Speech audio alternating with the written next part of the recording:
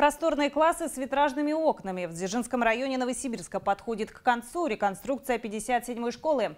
Уникальность проекта в том, что на старом месте возводят здание с большей проектной мощностью. В нем смогут заниматься 825 учеников. Татьяна Кияева оценила готовность объекта.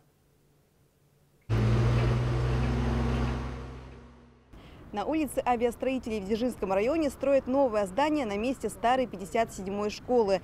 Это будет современный четырехэтажный корпус общей площадью более 18 тысяч квадратных метров. Здесь смогут обучаться вдвое больше ребятишек, чем раньше.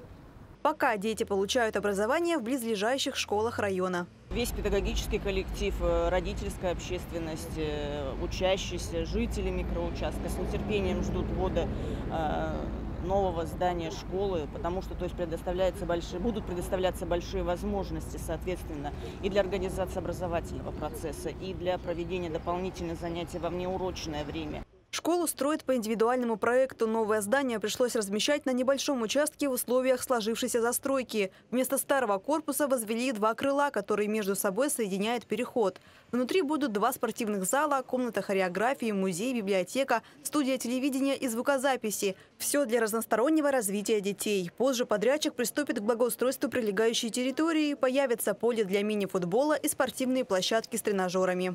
Была подобрана такая нетиповая полукруглая форма здания и разделена на несколько блоков, чтобы отделить младшие, младшие классы от средней и старшей школы.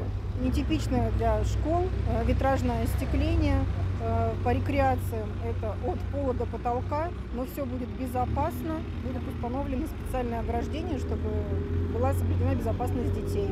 А остекление все выполнено ударопрочное. Фасад проектировали так, чтобы он гармонировал с соседними домами. На сегодняшний день заканчивают кровельные работы, прокладывают наружные сети, занимаются внутренней отделкой. В ближайшее время планируют установить санфаяс, душевые кабинки и завести оборудование для актового зала. Объект готов на 80%. 825 мест – это школа.